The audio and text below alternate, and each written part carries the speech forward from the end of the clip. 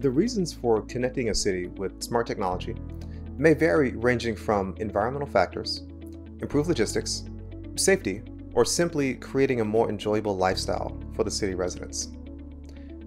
One important aspect that many large cities worldwide have to deal with is traffic. Over the past few decades, these cities have experienced growth in the number of cars in the city and, as a result, more challenges with street-bound transportation.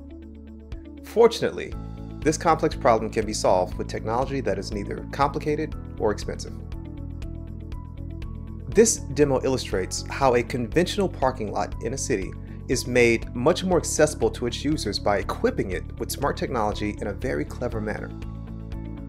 Not only does this solution remove unnecessary frustration when trying to find a centrally located parking spot, it also reduces unnecessary driving and harmful emissions.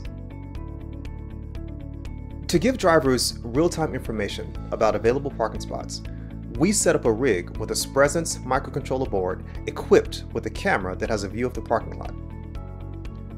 The board has the ability to run analysis of the stream of frames coming from the camera, allowing it to tell when a parking spot is available and where it is.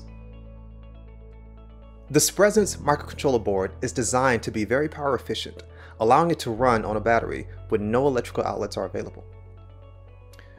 With this as the base use case, the solution can be extended to show the GPS coordinates of the parking lot on a map through the internal GNSS of Spresense.